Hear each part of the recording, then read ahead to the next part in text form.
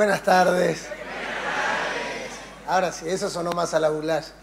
Eh, bueno, la verdad que, sumado a lo que decía Miru, no lo hacemos ni por protocolo ni por ni porque es correcto hacerlo cuando uno es visita, sino porque verdaderamente lo sentimos así. Eh, estar aquí, compartir con, con, los apóstoles, lo decía ayer en, en Levalle, eh, la idea de, de, quedamos hace un par de años atrás con sus apóstoles, obligarnos a vernos cada cierto tiempo, cada tres meses, cada cuatro meses, la distancia no nos juega un buen rol a ninguno, ni, nos hace bien a ninguno. Entonces hace un par de años atrás, creo que uno o dos años, tomamos la decisión de ser intencionales en vernos cada tres meses, cuatro meses, pasar dos días juntos, orar, compartir, eh, disfrutar. Y esta, esta fecha quedaba en esos tres meses que nos teníamos que volver a encontrar. Y la profeta Adela, que yo le dije ayer, y creo que puede ser un buen bautismo, es San Cayetano II, siempre tiene trabajo para darnos, dice, ya que vienen, ¿por qué no vienen en vez de venir jueves y viernes el fin de semana? Y ya que están, no se quedan, y, y ya que están. Así que ahora estoy contando que la, venganza nuestra, no venganza, la revancha, sería en septiembre. Y la voy a disfrutar, se los aseguro. Eh, pero, pero de verdad, más allá de, de, la broma, estar aquí y compartir juntos es, es un gran privilegio y lo hacemos con mucho sentido de responsabilidad. Quiero serles honesto, esta, esta, hasta esta mañana o hasta esta tarde tenía un mensaje para compartir con ustedes y me tiré un ratito a dormitar y no pude dormitar mucho porque me desperté con una palabra para compartir, que es la primera vez que la comparto abiertamente, que la comparto públicamente. No es un mensaje muy homilético o muy ordenado como a mí me gustaría prepararlo con tiempo, pero espero que haga sentido eh, a lo que se está viviendo como casa, se está viviendo como ciudad y por supuesto todo lo que esta casa administra en esta provincia y en otras naciones también. Me gustaría que vaya a leer conmigo las escrituras. Tengo la tarea de comunicarles y darles a todos y a cada uno los saludos de los pastores Rodrigo y Janina. Estuve con ellos hace un par de días atrás y el último día la pastora Janina me abrazó y me dijo, este saludo es para este abrazo. Y me dio una lista como de 45 nombres que no me acuerdo eh, cada uno de ellos. Así que lo voy a hacer más sencillo. Reciban los saludos y un cálido abrazo de los pastores Rodrigo y Janina, que les envía mucho amor y mucho cariño. Listo. Eh, venía pensando si me iba a acordar los 45, pero no, no hay forma de que me los acuerde. Isaías capítulo 6, versículo 1 al versículo 3. Isaías capítulo 6, versículo 1 al versículo 3. Dice, en el año que murió el rey Usías, vi yo al Señor sentado sobre un trono alto y sublime, y sus faldas llenaban el templo.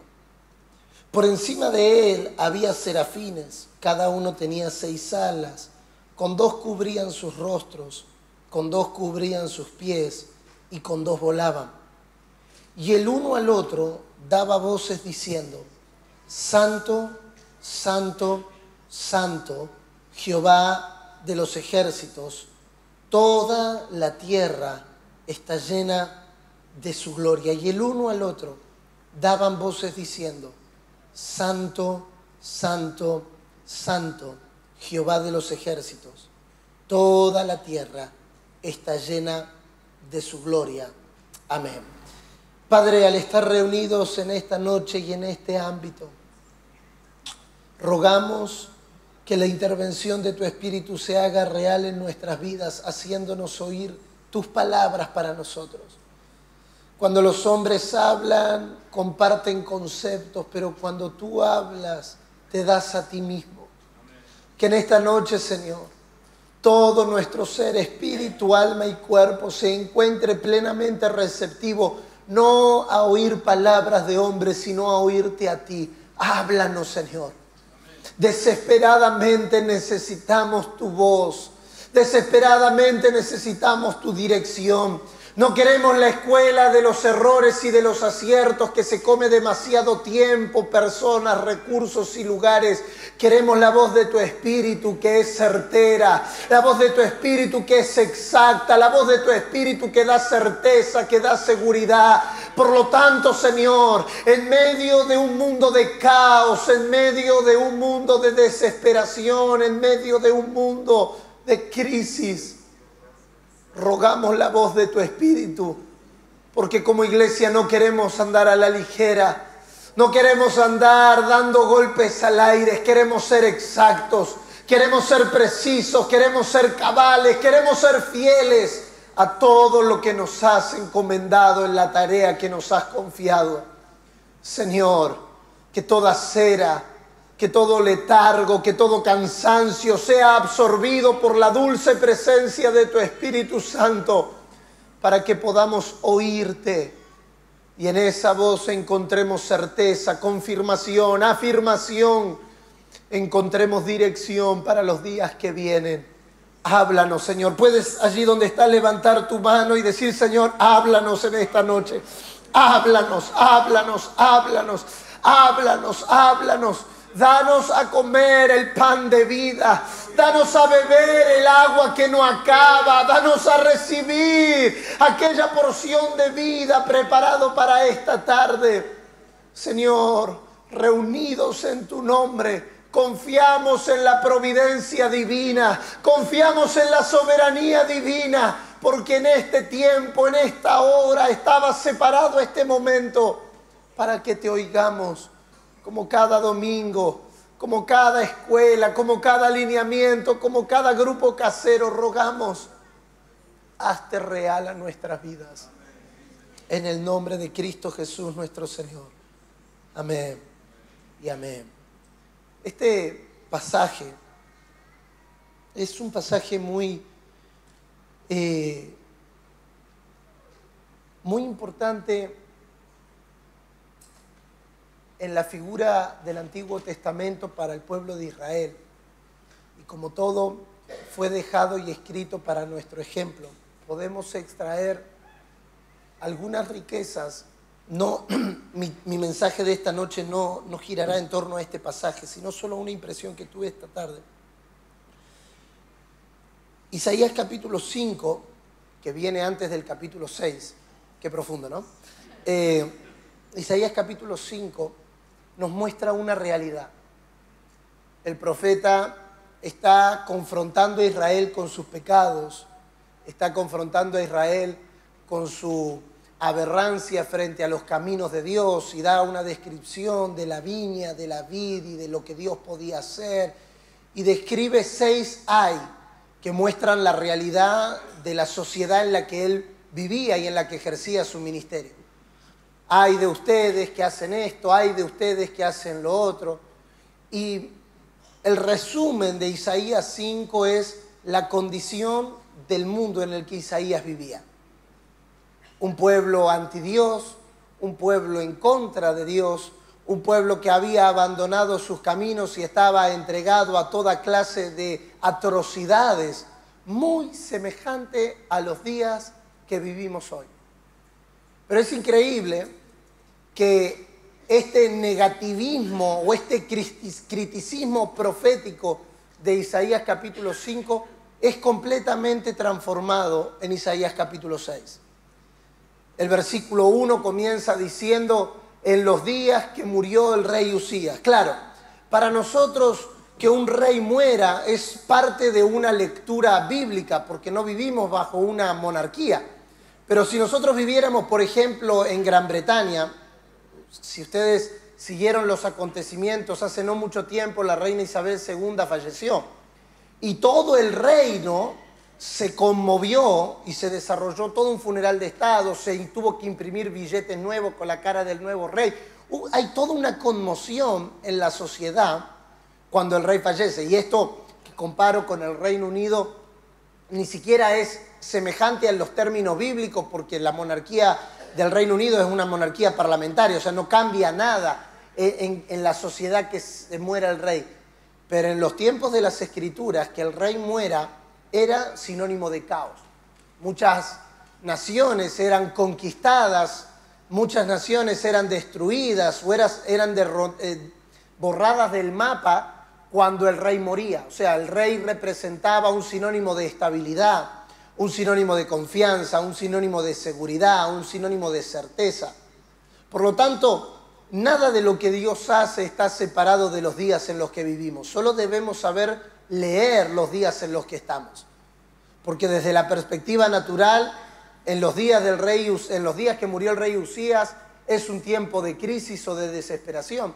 En la perspectiva de Dios, en los días que murió el rey Usías, es una oportunidad para ver algo más. Por lo tanto, en días como los que estamos viviendo, en días donde los hay son cada vez más notorios y cada vez más absolutos, en ver, cómo la sociedad le va dando lentamente la espalda a Dios, como iglesia debemos de adoptar una perspectiva. Vamos a tener una perspectiva natural de lo que está pasando. El rey Usías murió y usted sabrá encontrar el paralelismo con sus días a esto. O vamos a adoptar una perspectiva divina, una perspectiva celestial sobre los días en los que vivimos. Porque como vemos los días, así vamos a vivir. Y es interesante que en los días del rey, en los días que murió el rey Usías, Isaías tiene una visión. Vi yo al Señor sentado en su trono. ¿Qué es lo que hace la diferencia en días de gran conmoción? Una visión del trono de Dios. Ver un trono que está establecido. Esto también se da en el libro de Ezequiel y se recobra de vuelta en el libro de Apocalipsis, el que está sentado en el trono. Tener una visión del que está sentado en el trono es, tener una visión de lo que cantábamos recién. Cristo ya venció.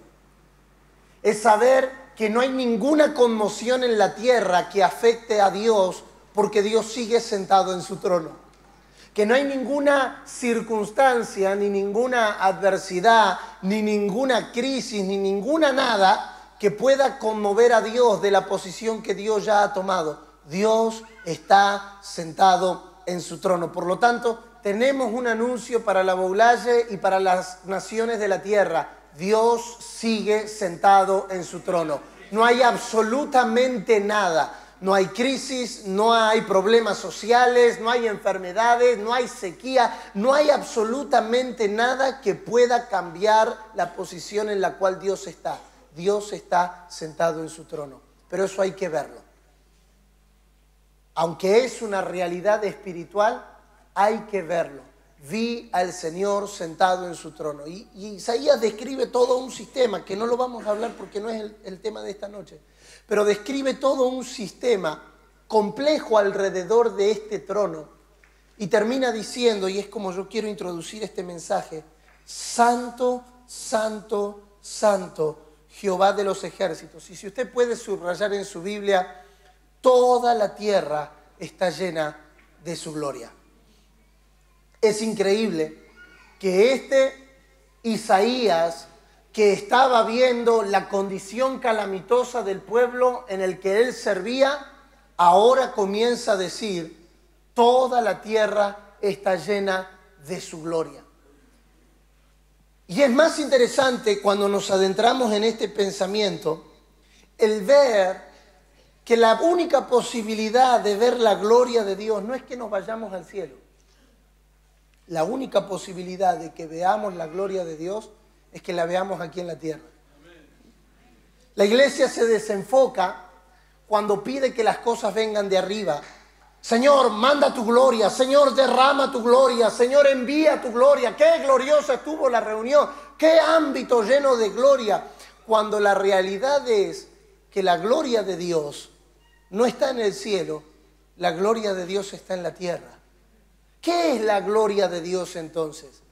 La gloria de Dios no es una sensación de un culto, no es una emoción, no es que el predicador predicó muy largo y entonces lo justificamos diciendo que estuvo glorioso, había una gloria que no se podía parar. La gloria de Dios es la imagen de Cristo formada en la iglesia. Cuando la iglesia avanza en la formación de Cristo, la gloria de Dios es vista en la tierra. Por eso estamos aquí aprendiendo, por eso estamos aquí en cada escuela, en cada alineamiento, en cada encuentro, hasta llegar a la estatura del Hijo para manifestar su imagen. Ahora, déjeme darle algunos diagnósticos. De tiempo en tiempo, y será mi tarea en esta noche, necesitamos recordar para qué estamos en la tierra. De tiempo en tiempo necesitamos ser afirmados en cuál es la idea que Dios tuvo al tenernos aquí en la tierra, al reunirnos como matrimonio, al reunirnos como familia. Pero en esta noche yo quiero elevar un poquito el pensamiento a para qué estamos en la tierra como una casa apostólica. ¿Cuál es la razón por la que somos una casa apostólica? ¿Cuál es la razón por la que como apóstoles, profetas, pastores, evangelistas, maestros, líderes, miembros santos del Señor están siendo parte de una casa apostólica. Yo quiero compartir por lo menos seis preguntas o tratar de responder seis preguntas sobre esta idea de casa apostólica. Necesitamos entender, saber leer los días en los que estamos viviendo y cuál es nuestro rol en ello. Leer los días en los que estamos viviendo. Claro, para muchos de nosotros los últimos años, años que le hemos llamado tiempos de reforma, han sido años críticos. Han sido años, como compartimos en expansión el año pasado, de profundos y serios ajustes, de ajustar nuestra cristología, ajustar nuestra eclesiología, ver qué de lo que hacíamos o qué de lo que estaba insertado en nuestro ADN respondía a Cristo. Pero el fin el fin no es quitar por quitar. El fin es llevarnos a una concepción o a un entendimiento de que vivimos para trabajar de tal manera que todas las cosas que Dios creó y diseñó vuelvan a su diseño original. El propósito de la reforma, el propósito de la centralidad de Cristo, de la supremacía de Cristo, como hablábamos ayer en el Valle, del ámbito del nuevo pacto, es llevarnos no a una mejor manera de hablar, no a una mejor manera de decir, no a una mejor manera de expresar, sino a darle un sentido claro a por qué hacemos lo que hacemos. Yo no sé si usted en algún momento de su vida lo ha hecho y si no sería un muy buen ejercicio. Preguntarnos por qué hacemos lo que hacemos y por qué hacemos lo que hacemos, cómo lo hacemos. Y gran parte de esas respuestas delimitan o muestran la necesidad de reformar. Ahora, la reforma no es un fin en sí mismo. La reforma no plantea en sí mismo un fin.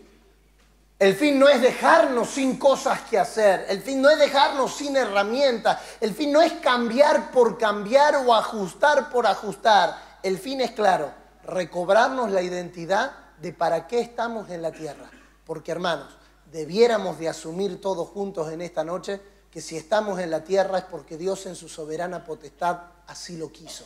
Estamos en la tierra por un deseo divino. Y si usted no lo sabía, es una buena noche para que se notifique. Estás en la tierra, habitando en esta ciudad, habitando en esta región, habitando en esta casa por una sencilla razón. A Dios le plació que así sea según el buen placer de Dios, en quien fuimos amados, en quien fuimos elegidos, en quien somos aceptos. Por lo tanto, debemos definir en nuestras vidas para qué vivimos. ¿Cuál es la razón? Yo debo de pensar que la razón por la que Dios me diseñó no es solo para que sea profeta, Usted debe de pensar que la razón para la que Dios te diseñó no es solo para que seas abogado, para que seas médico, para que seas ama de casa, para que seas estudiante, para que seas profesional o para que seas pastor o para que seas apóstol. Debiéramos de tener claro que todas, todas estas cosas son herramientas para un fin mayor, pero no son un fin en sí mismo. Venimos diciéndole desde hace muchos años a una generación de jóvenes, no anhelen esto, porque esto no es la vida Esto es un medio para colaborar con la vida. No anhelen esto porque esto no es un fin en sí mismo. Este es un medio para algo más. La pregunta es, ¿tenemos todos claridad de cuál es ese algo más? Porque no quiero que se me pase la vida haciendo cosas que eran un medio como si fuesen un fin.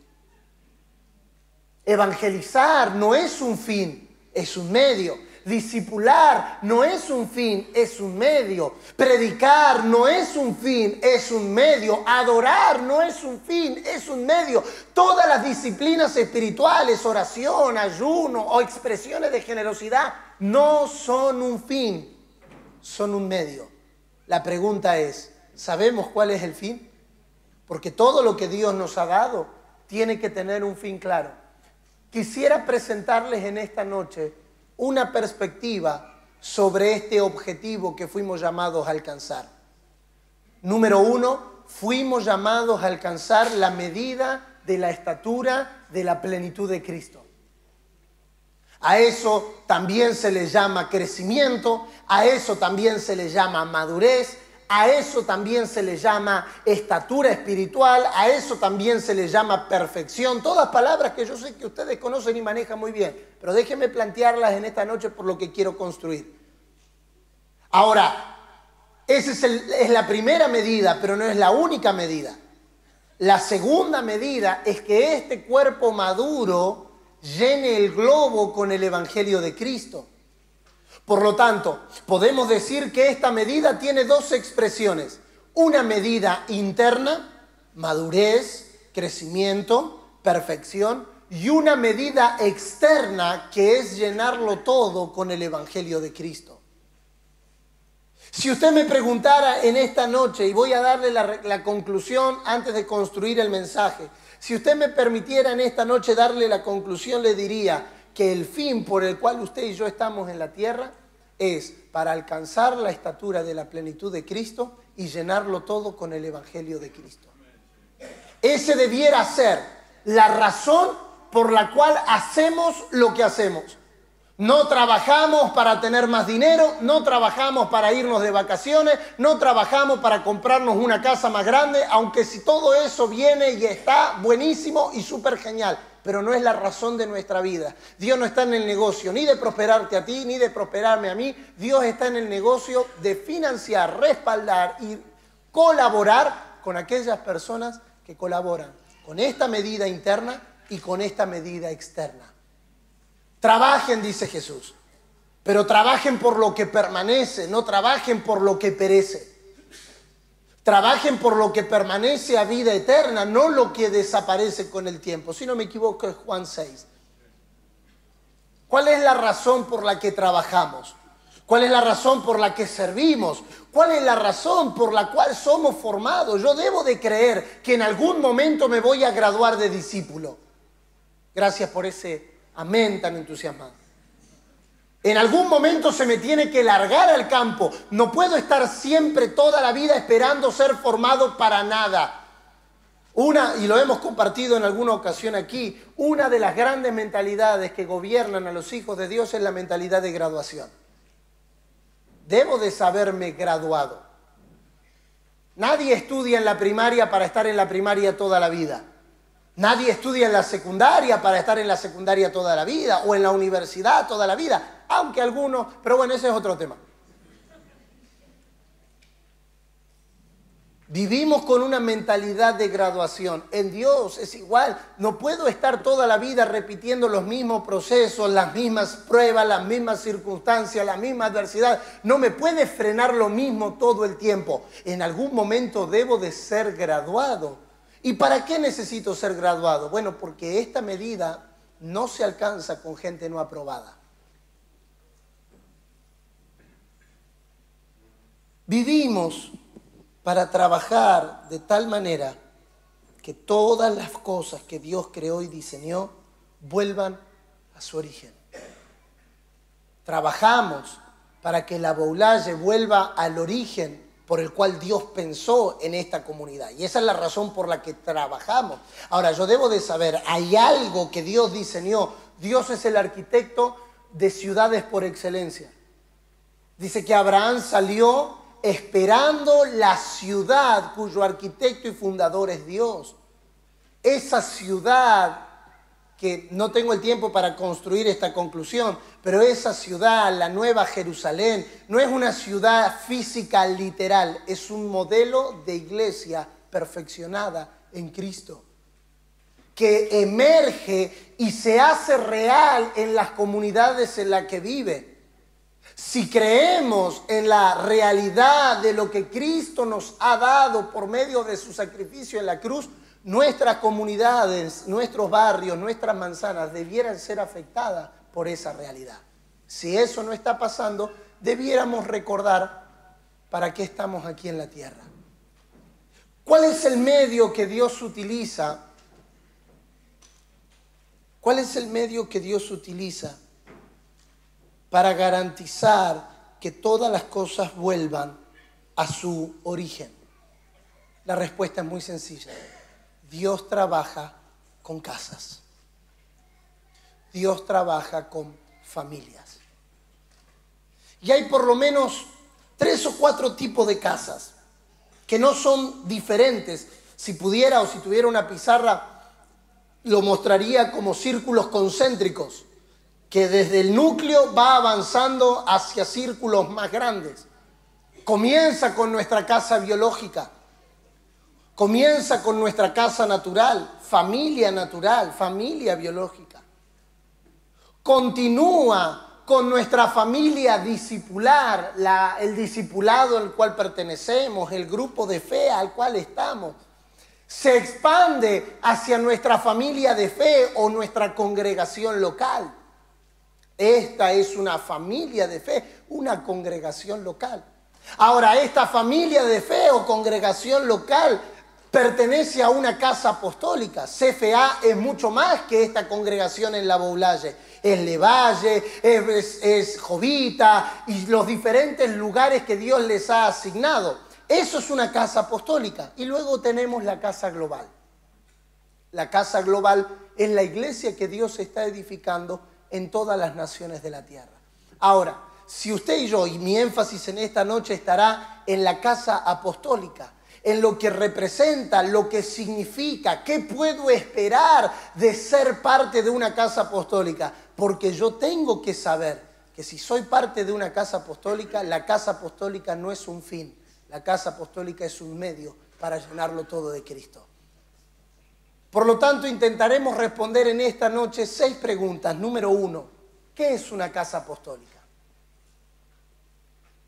¿Qué es una casa apostólica? Cuando decimos que somos una casa apostólica, ¿somos apostólicos solo porque tenemos un apóstol dirigiendo el movimiento? ¿Somos una casa apostólica porque creemos en el ministerio apostólico profético del nuevo pacto? ¿O somos apostólicos porque entendemos cuál es la naturaleza de la iglesia? La iglesia es apostólica por naturaleza. Apostólico significa aquel que es enviado, aquel que está en movimiento, aquel que va, aquel que se mueve. Por lo tanto, en una casa apostólica hay movimiento, en una casa apostólica hay envío, en una casa apostólica hay, eh, hay movimiento o sinónimo de avances.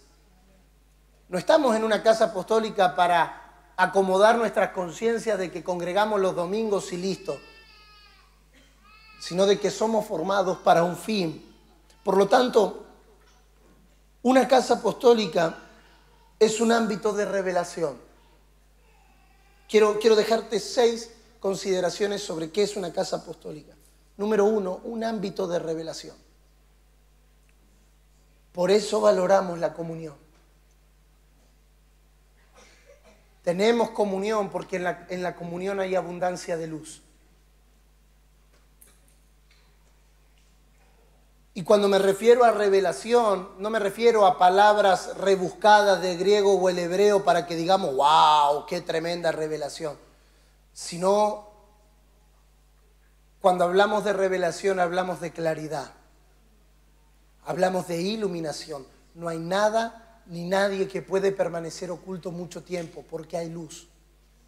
Y donde hay luz, hay orden.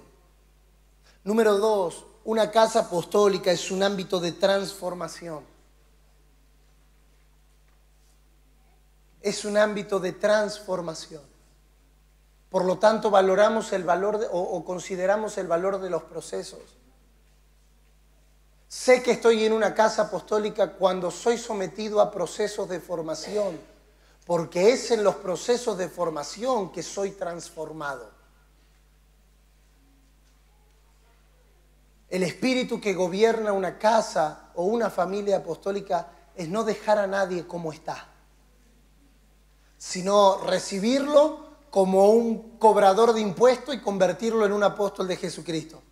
Es recibirlo como una mujer samaritana que había tenido cinco maridos y el que tenía ahora no era su marido y convertirla en una evangelista para una ciudad. Por lo tanto, los procesos son necesarios si queremos ser transformados. No menosprecies el valor de los procesos. Los procesos suelen ser duros, suelen ser fuertes, suelen ser incómodos, pero garantizan que seamos transformados en lo que Dios dijo que seríamos. Jesús recibió a Pedro como Simón, junco movido por el viento, una persona inestable, una persona pusilánime, una persona impulsiva, pero cuando lo entregó para la obra del ministerio, ya no era Simón, hijo de Jonás, ahora era Pedro, roca firme sobre la cual se puede edificar. Número tres, una casa apostólica es un ámbito de compromiso. Por lo tanto, valoramos la responsabilidad. No hay forma y no hay manera de estar en una casa apostólica y no ser impulsado a abrazar responsabilidad. Y esto es lo que incomoda a quien no quiere abrazar responsabilidad. Hacernos cargo, como se dijo recién desde este desde este escenario. La escuela eh, enseña, la familia educa. ¿Así era o al revés? Así era, ¿verdad? Se transfiere responsabilidad a los padres. Ya no es, pastor, vengo para que me ore a mi hijo, sino yo haciéndome responsable de lo que estoy formando y de lo que estoy permitiendo en casa. Número cuatro, una casa apostólica es un ámbito de visión. Por lo tanto, valoramos la dirección. Una visión más amplia y más profunda de la realidad espiritual y de la voluntad de Dios en nuestras vidas. Sé que estoy en una casa apostólica cuando hay discernimiento espiritual. Somos capacitados para discernir la voluntad de Dios y distinguir lo que es verdadero y lo que no es podemos decir que hay visión cuando se nos enseña o se nos lleva a ver desde una perspectiva eterna. Sabemos que estamos en una casa apostólica donde hay visión porque hay una perspectiva eterna de los días en los que vivimos. Cuando se nos enseña, se nos insta, se nos anima al desarrollo de la mente de Cristo una mente que gobierna por encima de todas las cosas y nos permite ver desde la perspectiva de Dios. Decimos que hay visión cuando hay imaginación creativa. En una casa apostólica donde hay visión, permanentemente hay innovación. Permanentemente hay soluciones y posibilidades que no habíamos considerado antes. Somos activados, como eh, Paul Chong Cho dijo hace muchos años atrás, un pastor coreano, que la mayoría de los pastores queremos que en nuestras congregaciones vengan los de cinco talentos. Pero no invertimos tiempo en capacitar a los que vienen, que son la mayoría de los que asisten a nuestras congregaciones, que son los de un talento.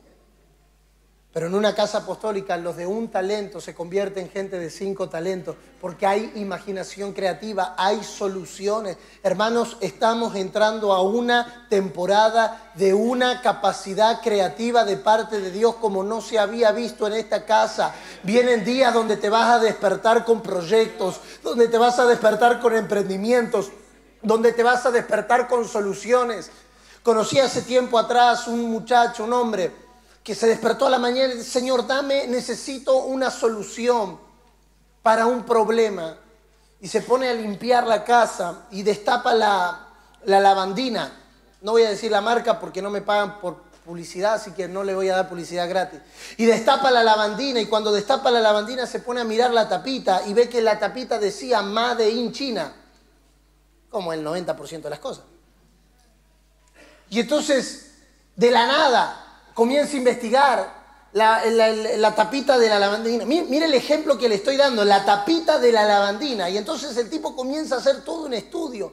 Un hombre común y corriente, no le estoy hablando de alguien que seguía las tendencias del mercado y descubre que de cada dólar, para ponerle un número redondo, de cada dólar que salía la tapita de la lavandina, 50 centavos salía a pagar la China y 25 a la aduana, como siempre.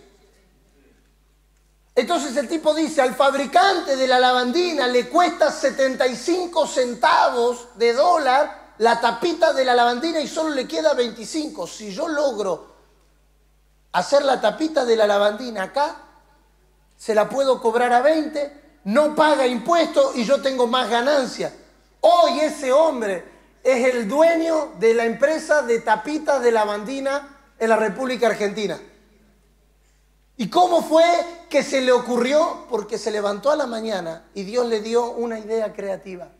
Vienen días de, de, ideas creativas, donde te vas a levantar a la mañana pensando en algo, te vas a poner a investigar y Dios te dará un diseño que resolverá un problema. Y entonces, cuando resuelvas problemas, mire, somos reconocidos por dos cosas, los problemas que resolvamos o los problemas que creamos. Yo quiero ser de los que glorifican el nombre de Dios resolviendo problemas. Por lo tanto, sé que estoy en una casa apostólica cuando soy inspirado a tener una visión más amplia, a emprender, a avanzar, a crecer, a prosperar. Dios no quiere gente limitada. Hermano, un hombre como José administró toda una nación y no venía de una familia extraordinaria. La única diferencia fue que él tenía más visión. Número 5 en esto de la visión. Sé que estoy en una casa apostólica cuando hay inspiración divina. En una casa apostólica la inspiración divina es algo constante. Todo el tiempo estamos creando, todo el tiempo estamos escribiendo, todo el tiempo estamos produciendo. Vienen canciones nuevas para esta casa, vienen melodías nuevas para esta casa, vienen producciones nuevas para esta casa, porque si estamos en una casa apostólica y hay visión, hay inspiración. Necesitamos dejar de copiar de Babilonia y de Egipto lo que este reino es capaz de producir por sí mismo, pero para dejar de copiar hay que ver. No quiero pasarme la vida tomando prestado de otros no quiero vivir de la experiencia de otros. No quiero cantar canciones que otros le compusieron a Dios en sus propias experiencias. Estoy en una casa apostólica para ser inspirado, no para ser motivado. Existe una diferencia entre la motivación y la inspiración. La motivación trabaja con tus sentidos. La motivación trabaja con tu, con tu motivación, con tu idea, con tú puedes, tú lo vas a alcanzar, tú lo vas a lograr. La inspiración. La inspiración se sostiene en el tiempo por una sencilla razón. Su origen no es sensorial, su origen no es externo, su origen es espiritual.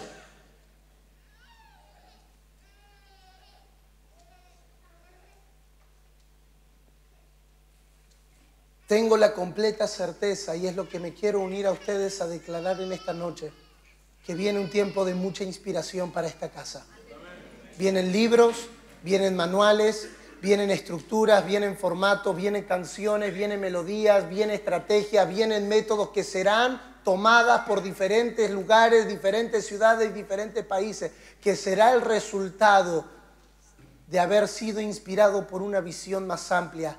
Alza tus ojos y mira. Alza tus ojos y mira, no cedas a la batalla por la visión, no cedas a la batalla por lo que Dios habló, no cedas a la batalla por los días que vienen, porque como mires los días que vienen es como vas a accionar hoy.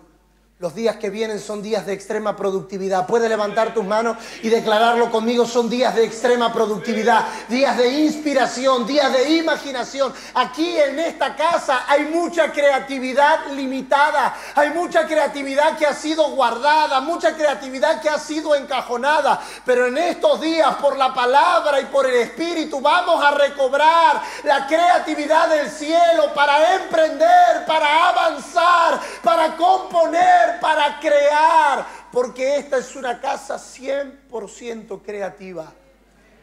El espíritu de esta casa es creativo. Número 5 de lo general que estamos hablando de qué, qué es una casa apostólica. Una casa apostólica es un ámbito de unión de las cosas eternas y temporales es un ámbito de unión de las cosas eternas y temporales. ¿Saben? Muchas veces en este péndulo o en esta esquizofrenia de pactos, que un día nos levantamos en el nuevo y otro día en el viejo, ponemos en un versus lo que Dios no puso en versus. No es temporal versus lo eterno. No es lo eterno versus lo temporal. Es lo eterno primero y luego lo temporal. Lo que vemos de Dios, lo que conocemos de Dios, lo que sabemos de Dios, deben de tener implicancias en nuestros días. Estamos en una casa donde la impartición de la palabra nos reubica, donde la impartición de la palabra nos reposiciona, donde la impartición de la palabra nos ordena poniendo primero lo eterno y luego lo temporal, no descartándolo. Hermano, tu familia sigue importándole a Dios. El cuidado físico sigue importándole a Dios. Tu salud mental sigue importándole a Dios. La condición de tu casa sigue importándole a Dios.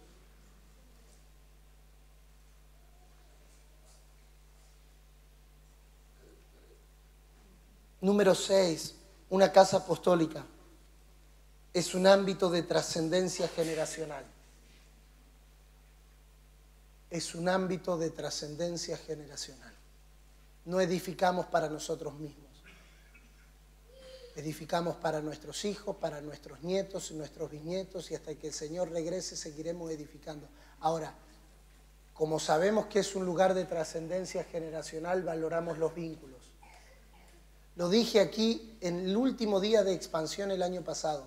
Usted se puede enojar con el verdulero del barrio, no se puede enojar con quien Dios lo llamó a edificar el reino. Nuestros vínculos deben de trascender nuestras broncas personales.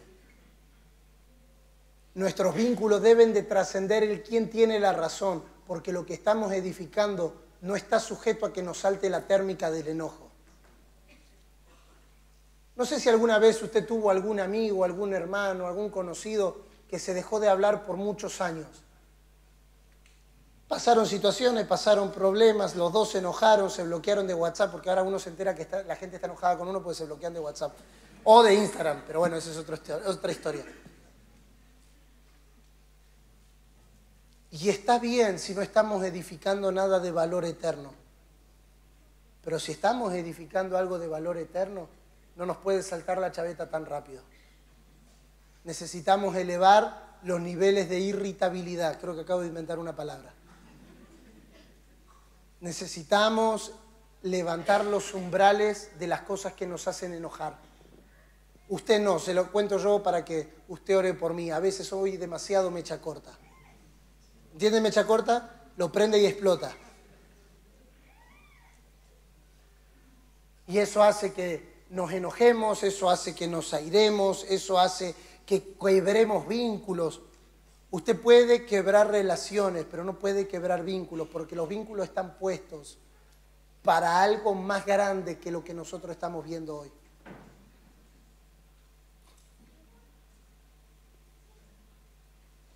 ¿Sabe qué maravilloso es dar testimonio y contar Camino con los apóstoles hace 20 años, camino con los apóstoles hace 30 años. Estoy en esta casa desde que se fundó. Mis hijos crecieron acá, se casaron aquí, vivieron aquí, tuvieron hijos aquí. Eso significa que estamos edificando algo eterno, que no está sujeto a nuestras broncas o a nuestros enojos o a nuestras decepciones, sino que estamos por encima de eso. Hermanos, tus hijos crecerán aquí, tus nietos crecerán aquí, tus bisnietos crecerán aquí si el Señor no viene antes, porque estamos dispuestos a guardar la salud de nuestros vínculos por encima de lo que nos pase.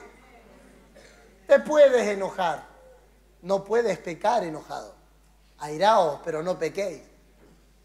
Todos en algún momento nos sentimos que algo toca una fibra de nosotros que todavía no ha sido regenerado, pero eso no puede llevarnos a quebrar nuestros vínculos.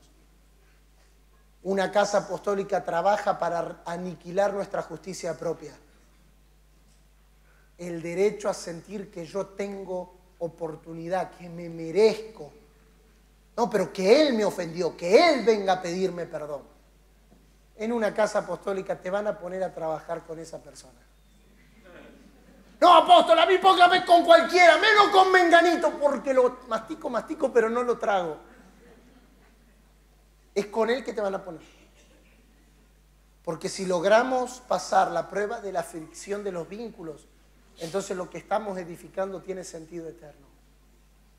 No quiero al primer enojo o a la primera decepción decir siento de Dios que mi tiempo en esta casa terminó. Todas frases aparentemente espirituales, pero que esconden a alguien que no está dispuesto a dejarse sufrir por los vínculos. Los vínculos se sufren. Los vínculos se sufren. Pero se sufren por causa de algo más grande que el vínculo en sí mismo.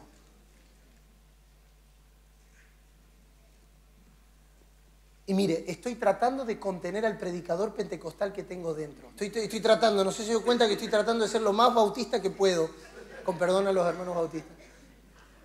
Porque tengo tanta carga por esta palabra, por los días que vienen, que no quiero perderme en la emoción y en lograr que usted aplaude, grite y no se duerma, que nos termine robando el sentido de por qué estamos haciendo lo que estamos haciendo.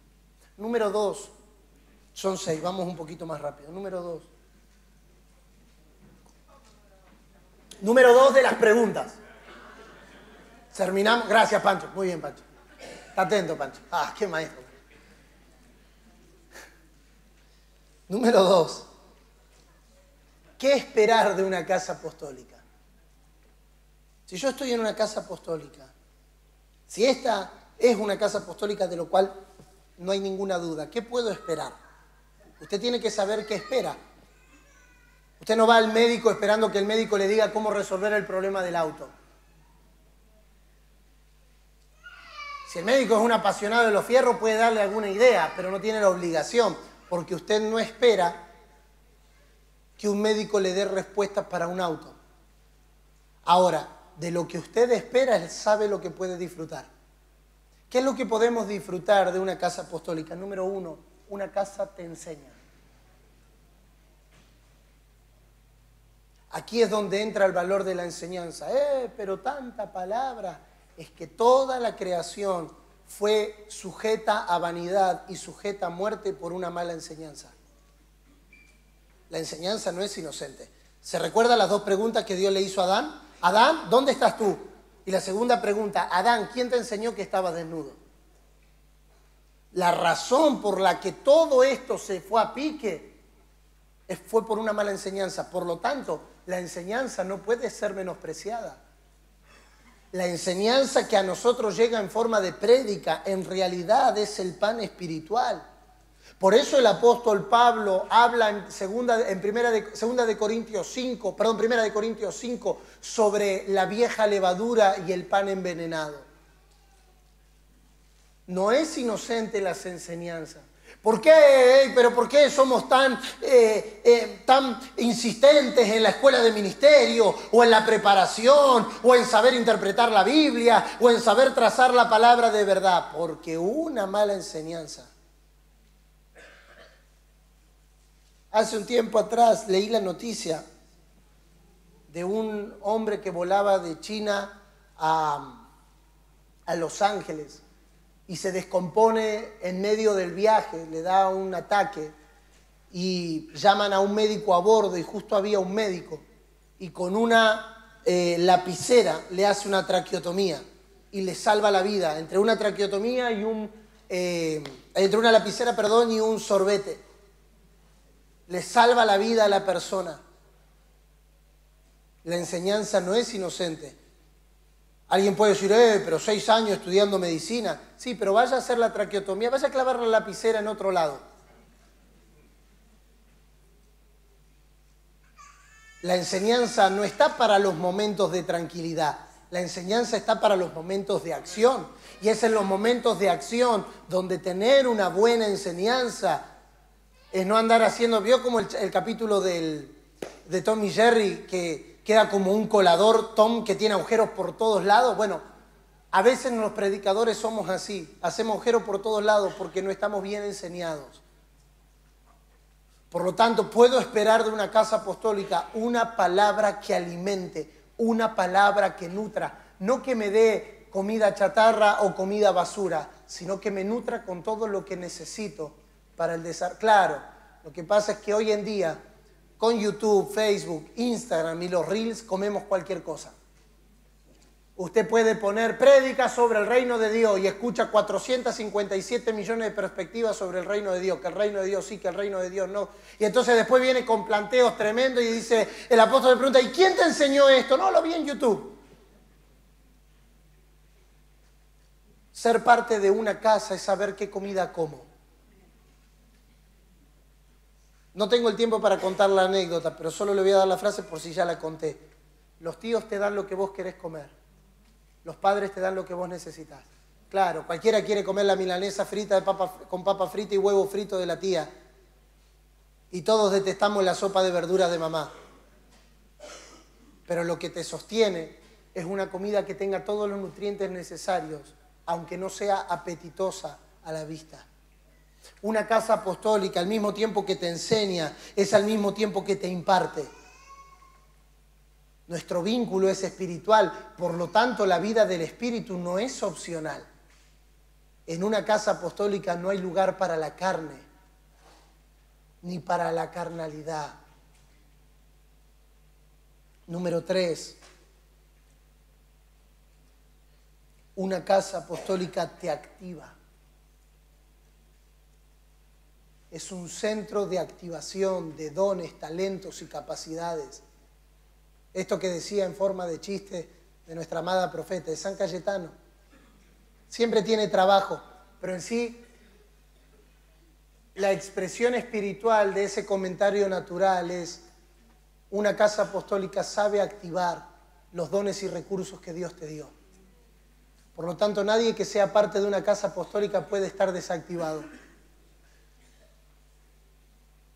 Número cuatro, una casa apostólica te moviliza. Te moviliza. Aquí es donde entra el valor de la incomodidad.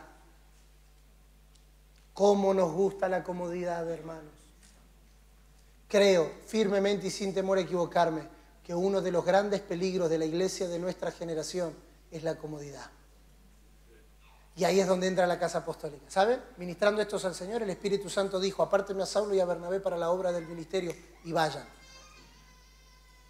Y no, no es el tema ni el tiempo para ver las diferencias entre la iglesia de Jerusalén y la iglesia de Antioquía. La iglesia de Jerusalén como un modelo de iglesia local y la iglesia de Antioquía como un modelo de iglesia global, donde hay constante movimiento. Ahora, que haya constante movimiento significa que hay constantemente incomodidad y se escuchan por el Espíritu días de incomodidad para esta casa. Vienen días donde muchos de nosotros que estamos demasiado cómodos en nuestras posiciones, en nuestras funciones, en nuestros cargos o en nuestras asignaciones, vamos a ser incomodados. Y cuidado, porque si te aferras demasiado a la silla y pierdes la visión, Dios no tiene problema en desnucarte. Si no, pregúntele a Ali. No, yo soy pastor de esta casa y de acá no me sacan ni Dios. Ajá, bueno, vamos a ver si no te desnucas. Porque cuando estamos demasiado cómodos y no cedemos a la dirección del Espíritu Santo a movernos, hermano, peor que salir antes de tiempo es nunca salir. Porque el nunca salir es sinónimo de estar siempre cómodo. Y muchos de ustedes, y lo digo en el espíritu y por el espíritu, hace tiempo Dios viene incomodándolos y vienen haciéndose, como diríamos, jugando al truco los sotas. Qué lindo decirlo y que alguien te entienda. Porque a veces tengo ganas de decir frases en algunos lugares donde vamos, pero como no son argentinos, no entienden. Y si usted es argentino y no sabe qué es hacerse el sota, pregúntele a su abuelo.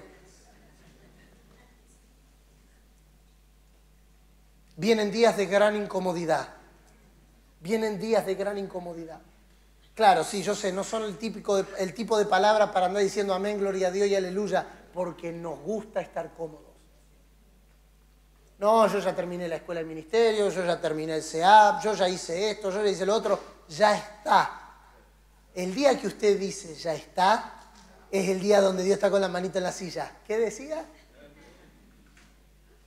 Muchos de los temblores que nosotros estamos atravesando en nuestra vida no es el diablo, es Dios diciendo, hey, estás demasiado cómodo. Mira el que está a su lado y sacúdelo un poquito, sacúdelo un poquito. Tiene cara de cómodo, sacúdelo un poquito. ¡Ay, es que estoy más cerca de la jubilación que de iniciar! Tranquilo, hermano, para Dios, tus 80 años, tus 90 años, tu Juanete no son un problema. Caleb tenía 80 años y dijo, todavía tengo la misma fuerza que cuando tenía 40. El asunto no es la edad, el asunto es la comodidad. Número 5, dentro de la segunda pregunta. Número 5, una casa te envía y te establece. Y aquí es donde entra el valor de la obediencia. No siempre vamos a ver claramente a dónde se nos envía. Algunos de ustedes tienen ciudades, tienen pueblos, tienen naciones en su corazón y otros no. Y los apóstoles dicen, te veo en tal lugar. Ay, no, es que hasta que Dios no me confirme, hasta que no venga el apóstol, el profeta, el pastor, si es de Dios, ¿no? Empezamos con el si es de Dios. Si es de Dios, que venga el profeta vestido de negro con una campera marrón y diga que, y a veces somos más católicos que los propios católicos, esperando la confirmación de la confirmación de la superarchimega recontra confirmación. Hermano, si Dios habla, por medio de quien consideramos nuestras autoridades, nuestra única respuesta es, Señor, yo dije, a lo que tú quieras, cuando tú quieras, como tú quieras, cuenta conmigo. Ay, es que no lo veo. Yo aprendí con un militar, amigo mío que falleció, ya está en la presencia del Señor, que las órdenes primero se obedecen y luego se discuten. Nosotros hacemos los procesos demasiado lentos pidiéndole explicación a Dios de todo. Si Dios habló, nuestra respuesta es obediencia. Ay, pero duele. ¿Y quién dijo que la obediencia no dolería? Tercera pregunta. Mire, vamos más rápido. Eso porque no sabe que la pregunta 6 tiene 48 pensamientos. Pero eso... Número 3. Ya cuando Pedrito me haga señas, yo paro. Lo bueno que está en otro mundo, así que no pasa nada. Tercero, ¿qué provee una casa apostólica? Número uno, una casa apostólica provee identidad. El drama de nuestra generación es la identidad. Y quien no sabe quién es, tampoco sabe a dónde va.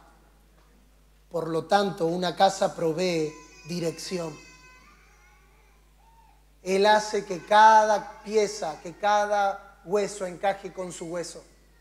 Donde hay identidad, hay dirección. Donde hay dirección, hay pertenencia. Número tres, provee pertenencia.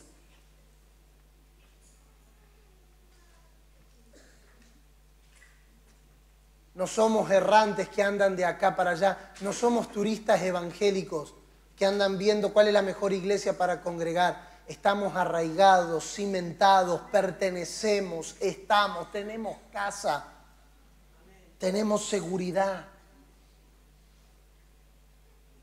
Si yo le pido a alguno de los nenes aquí presentes que se tire desde algún lugar hacia mis brazos, probablemente no se tire, porque no confía, porque no está seguro. Ahora, si yo le pido a mi hija, ame, tirate, no termino de decir tirá, que ya se tiró.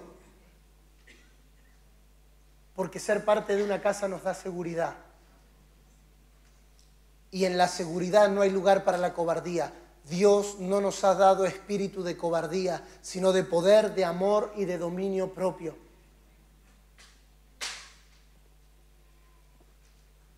Número cuatro, provee herencia. No somos huérfanos que se autopromueven, que se autoproveen y que se autodirigen.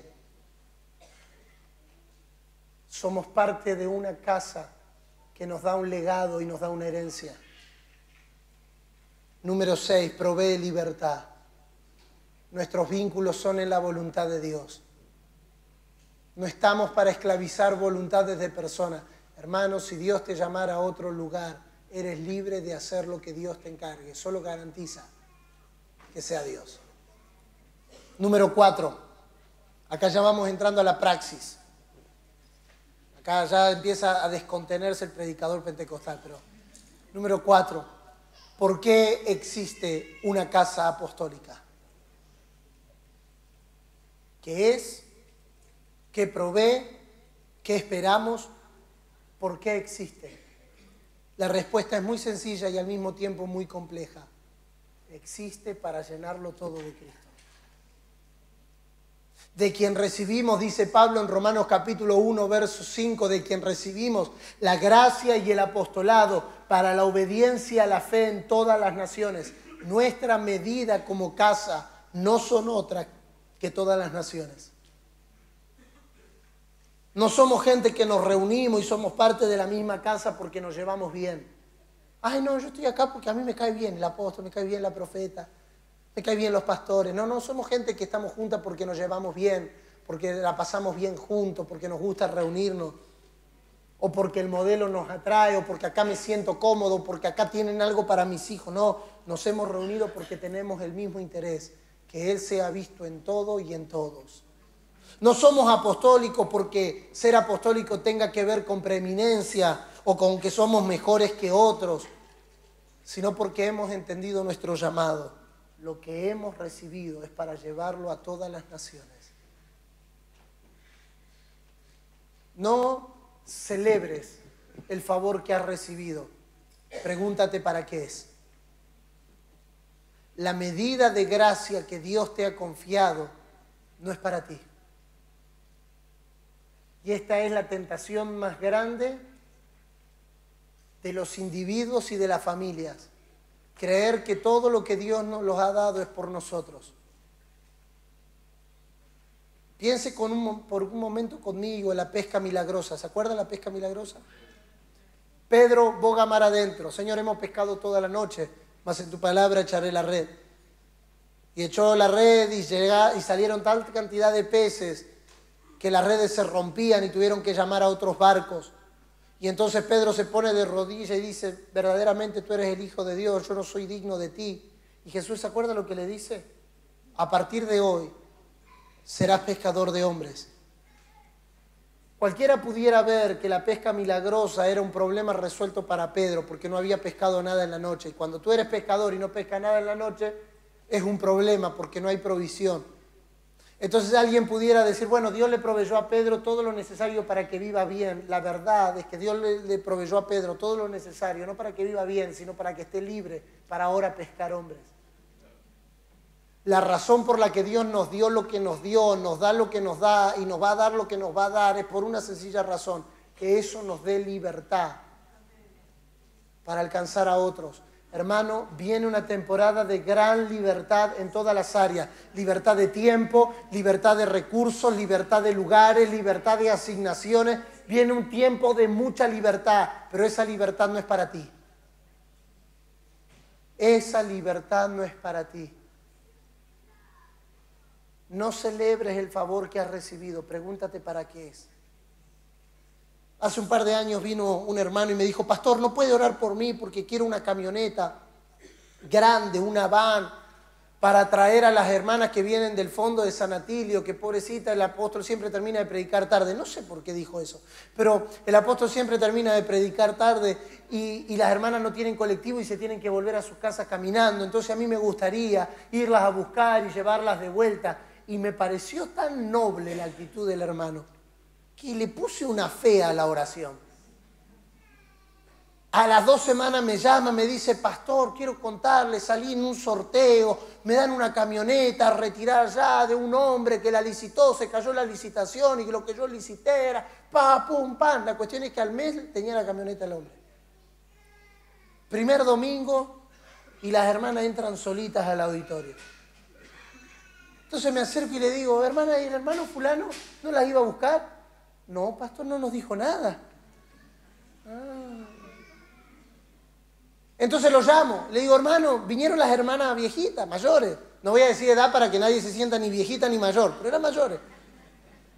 Cuasi hermana de Matusalén, para que ninguna, ninguna empiece a hacer, ay, pero me dijo vieja. No, no, la hermana de Matusalén, 969 años. Si usted no tiene 969 años o anda por ahí, puede considerarse viejita o mayor. Y entonces, no, me dice, pastor, lo que pasa es que usted sabe, la camioneta era nueva, entonces vinieron mi familia a celebrar la camioneta, comimos un asado y se hizo tarde y ya no llegué. Ah, no pasa nada, te vemos el próximo domingo.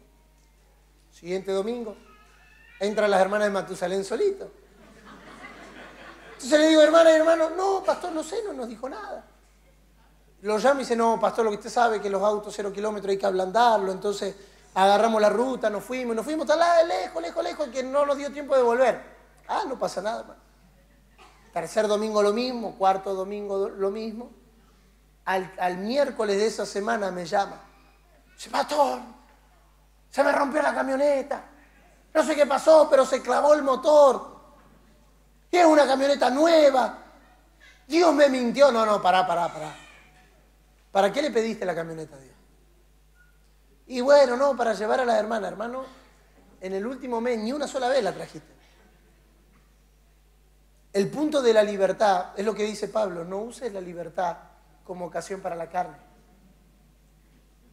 Si Dios te ha dado algo, que creo que ninguno de los que estamos aquí podemos decir que Dios no nos ha dado nada, si Dios te ha dado algo, no te entretengas con lo que Dios te dio.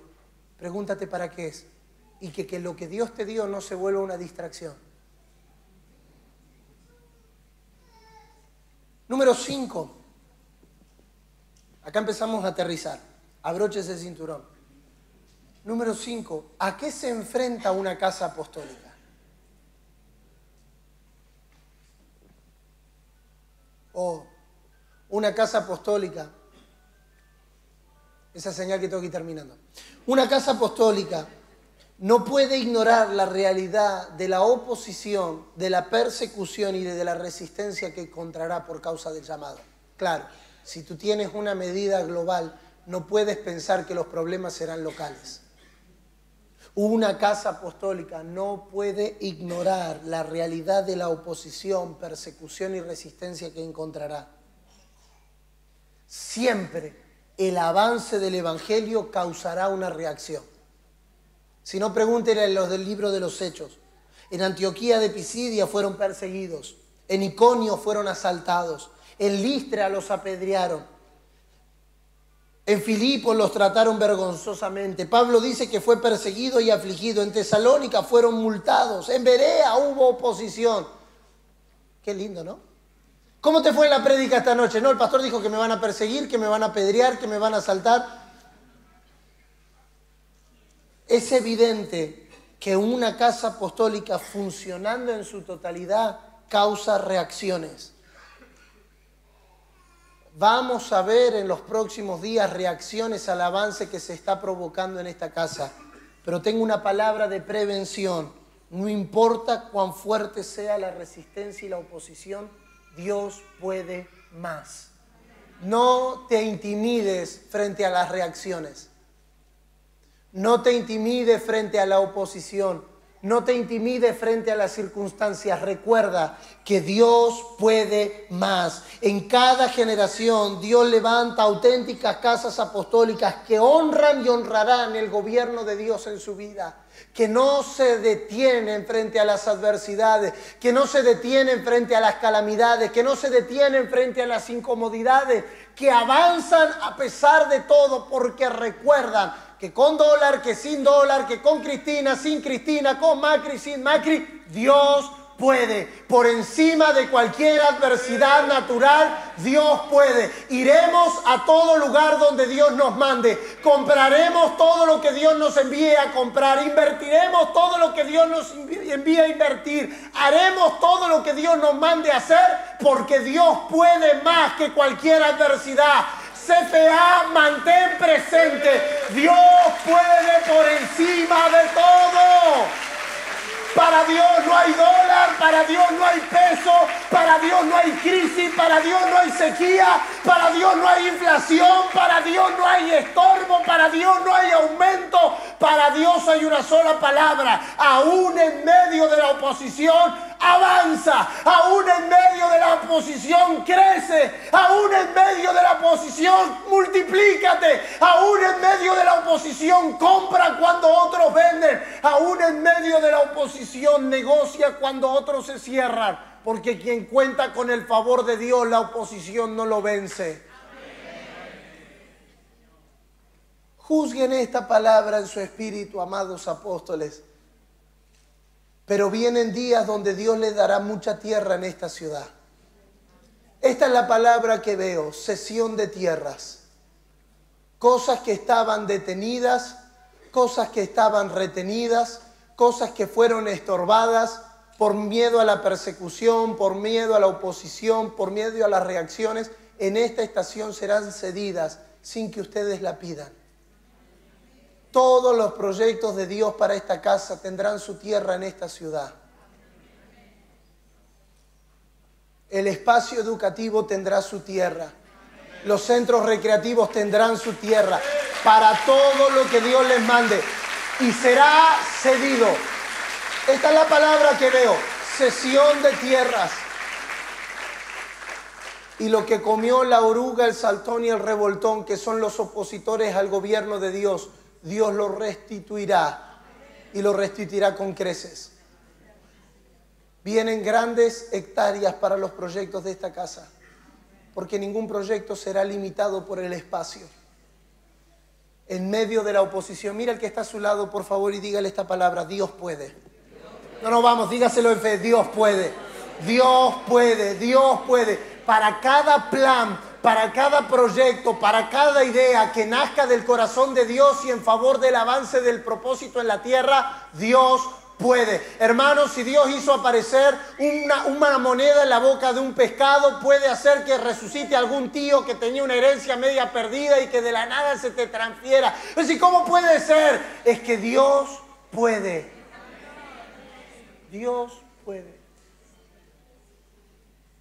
No se sorprendan de cosas inusuales los próximos días. No se sorprendan. Sé lo que les digo cuando les digo que entramos a una temporada de sesión.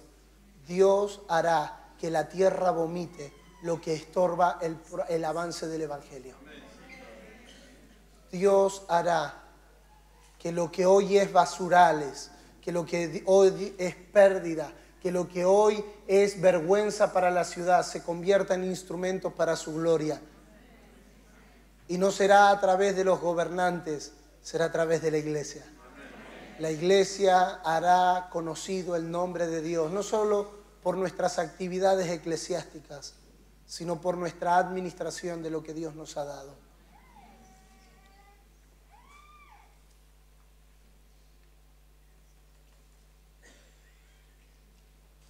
No te detengas frente a la oposición. No te detengas por miedo a la reputación. Dios no está formando en nosotros reputación. Dios está formando en nosotros carácter. ¿Cuál es la diferencia? La diferencia es que reputación es lo que la gente piensa o sabe de ti. Carácter es lo que Dios ve en ti. no quiero vivir, no quiero vivir por lo que la gente piensa de mí.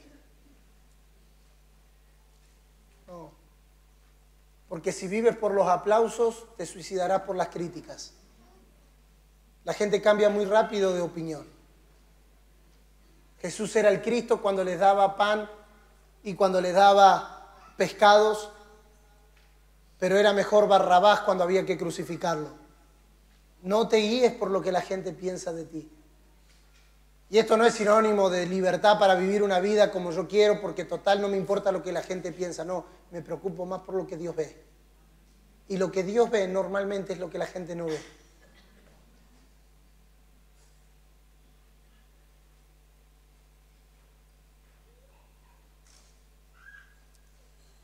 Número 6 y último, y oramos. Y ahí era donde usted decía, no, pero no importa. Lo dejamos para el, el punto 7, que no existe, pero si dice o lo podemos inventar. Número 6. ¿Qué sostiene una casa apostólica? ¿Qué es lo que nos ha sostenido hasta aquí y nos, nos sostendrá por los próximos años? Dos cosas. Número uno, oración. ¿Qué sostiene una casa apostólica? Oración. En cada generación Dios levanta casas apostólicas que entienden la importancia y la necesidad de una vida rendida en oración y dependientes del Señor.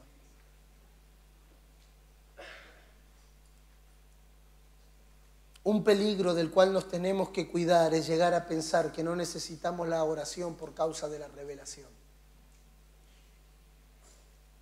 Una característica de la primera iglesia es que era una iglesia que oraba. Eh, pero ¿por qué tanta oración?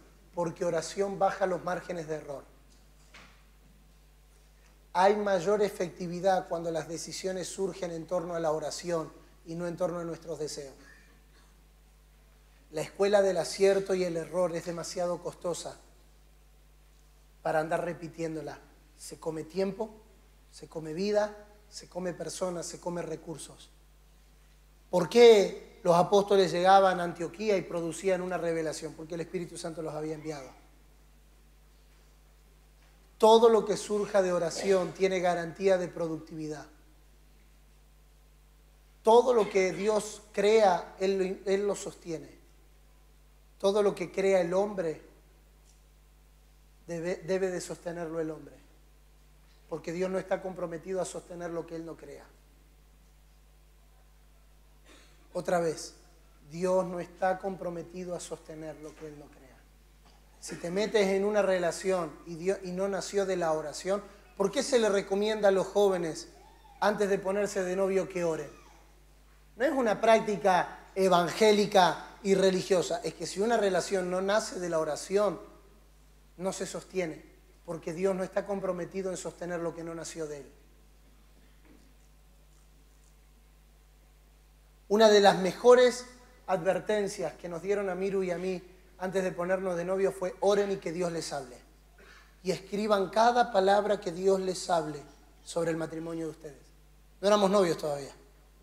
Miru estaba muerta conmigo, pero no, no éramos novios todavía. Era al revés. No importa. Pero dije, no, vamos a orar, espera. Fue al revés, fue al revés. Tengo que decirlo porque vuelvo con ella cuatro horas y media. Y me acuerdo que un consejo, un matrimonio precioso de pastores nos dijo, oren. Y, y anoten cada palabra que Dios les dé. Y en ese momento, cuando vos estás con la mariposa en la panza, decís, ¿qué voy a orar? Es de Dios, recontra Dios, ama a Dios, me encanta, me gusta, que vamos para adelante. Sí, pero en los momentos de crisis, lo que te sostiene es volver a lo que Dios dijo.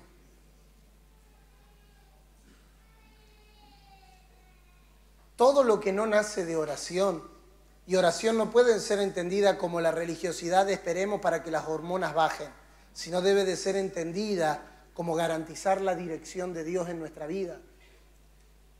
¿Cuántas decisiones nos hemos agarrado la cabeza que tomamos sin haber esperado la dirección de Dios. Hermano, para Dios la dirección es tan clara y tan seria y tan importante que Saúl perdió el reino por no esperar una instrucción.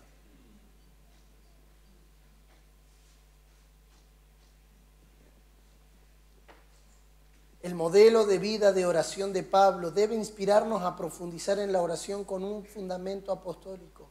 Ahora, mantener una vida de oración desatará en nosotros un nivel mayor de autoridad para garantizar el avance de los propósitos de Dios. Vuelve a lo que Dios dijo. Cada vez que tengas una crisis existencial, vuelve a lo que Dios te dijo porque la única garantía que lo que vamos a hacer en los próximos años se sostenga es que haya nacido de Dios.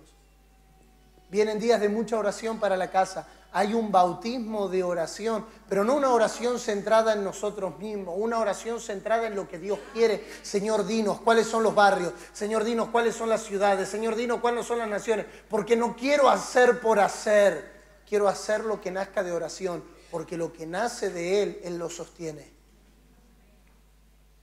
Y número dos, lo que sostiene una casa apostólica es poder.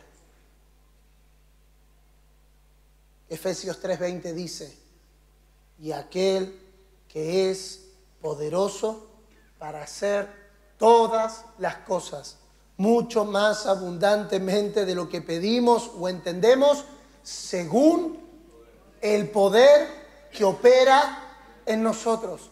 Hermanos, esta vida gloriosa que hemos recibido por medio de Jesucristo tiene un poder. Y este poder es el que nos sostiene.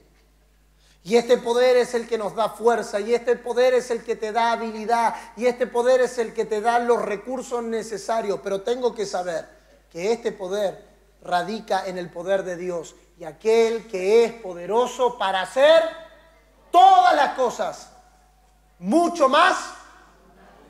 Oh.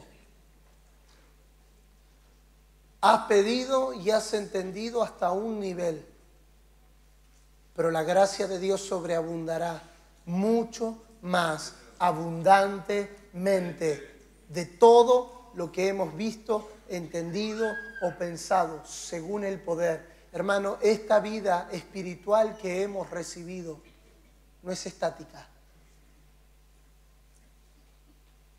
esta vida que hemos recibido no es pobre, esta vida que hemos recibido es poderosa. Es más, el autor a los hebreos llama a esta vida una vida indestructible. Concluyo este mensaje diciéndote, CFA, no eres una casa apostólica para ti misma Eres un gran árbol del cual muchas naciones seguirán comiendo. Pero una casa apostólica no radica solo en sus apóstoles o en su primera línea de liderazgo. Una casa apostólica somos todos. Cada uno de nosotros, quienes habitamos esta familia de fe, debemos recobrar para qué estamos en la tierra. Sal de la comodidad que te trajo el mensaje del nuevo pacto, de no orar, de no ayunar, de no inquirir, de no escudriñar, de no crear, de no producir, de no avanzar. Y recobra la guía del Espíritu Santo, porque esta casa apostólica está destinada por Dios a crecer a la medida de la estatura del varón perfecto y a llenarlo todo de la medida de Cristo. Pero eso no será ni con vagos ni con perezosos. Muchos de nosotros hemos encontrado en la verdad presente del nuevo pacto excusa para nuestra comodidad. Y fue justificativo para abandonar la vida del Espíritu. Fue, indicativo, fue justificativo para descuidar la administración al Señor. Vienen días de profunda administración al Señor, donde vamos a comenzar la reunión y ya no será un esquema de cuatro o cinco canciones, Será un tiempo tan profundo de ministración al Señor, donde el Señor nos ministrará, donde el Señor trabajará, confrontará, se, correlacionará con nuestras necesidades y construirá una nueva realidad. sigo sosteniendo lo que dije la primera vez que pisé esta casa. Esta casa apostólica es un modelo que otros querrán tomar. Pero eso no depende, y lo digo con mucho respeto, no depende del matrimonio Gorjón. Depende de cada uno de nosotros. Vencer la comodidad. Descubrir lo que por revelación esta casa nos brinda y activarnos en función de ello para garantizar el avance del propósito. Volvamos a la oración y al poder, porque todo lo que Dios quiere, nosotros podemos. Oh, nuestra única preocupación es que Dios quiera. Escúchenme, por favor, ya, ya no, ya está. Nuestra única preocupación es que Dios quiera. Porque si Dios quiere, nosotros podemos. No, no, no, no me entendió. Nuestra única preocupación es que Dios quiera. Nuestra única preocupación es que Dios quiera a Rodrigo y a Janina en España. Porque si Dios quiere, nosotros podemos. Nuestra única preocupación es que Dios quiera que esta casa crezca, porque si Dios quiere, nosotros vamos a crecer. Nuestra única preocupación es que Dios quiera, y eso te lo da la oración. La oración te da la capacidad de identificar. Ahora, hermano, salgamos de la idea que la oración es solo para mujeres y las mujeres mayores. Salgamos de la oración. Ah, es que Dios a mí no me llamó a la oración. Entonces, si Dios no te llamó a la oración, pasarás tu vida dando golpes al aire, pero no serás efectivo en lo que Dios quiere. Porque el único que descubre que puede es aquel que sabe que Dios quiere. Esta estación será marcada por este pensamiento. Si Dios quiere, nosotros podemos. Señor, di la palabra. Porque si tú dices que vamos a emprender, vamos a emprender. Si tú dices que vamos a comprar, vamos a comprar. Si tú dices vamos a grabar, vamos a grabar. Si tú dices nuestra escuela será utilizada en otras provincias y en otras naciones, si tú lo quieres, nosotros podemos. Podemos para todo lo que Dios quiere.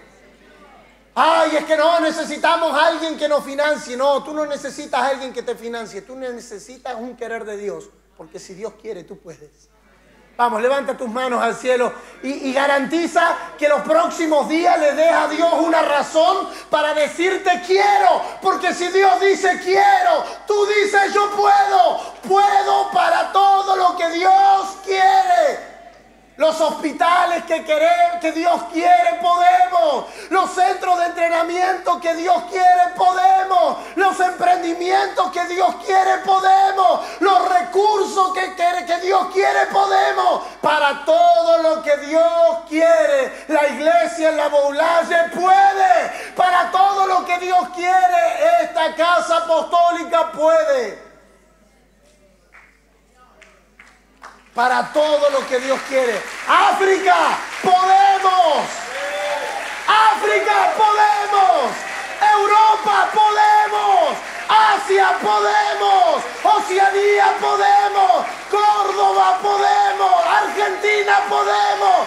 Podemos no por quien gobierne. Podemos no por lo que tengamos en la cuenta del banco. Podemos porque Dios quiere. Y si Dios quiere, la casa apostólica puede. Vamos, levanta tus manos y adora al Señor, porque esta es una impartición de fe a tu espíritu, de que para todo lo que Dios quiera, para todo lo que Dios te llame, para todo lo que Dios te envíe, Él es poderoso para hacer más de lo que hemos pedido, de lo que hemos entendido.